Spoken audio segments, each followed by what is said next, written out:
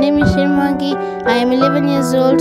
I am in journalism club and I school at King's International Academy. Now, King's International Academy is a school that is a home away from home. We are very big on uh, taking care of ch- uh, the children and loving on them. For the last six years, my children have come to this school. I believe that uh, uh, King's International Academy is the school for this century.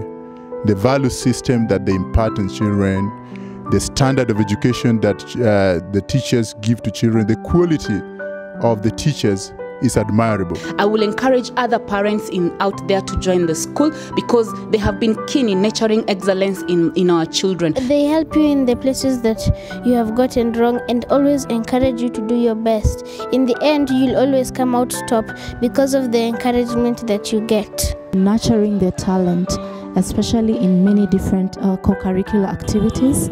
Most of the co curricular activities that we have are sign language, chess, swimming, drama. We have a journalism club.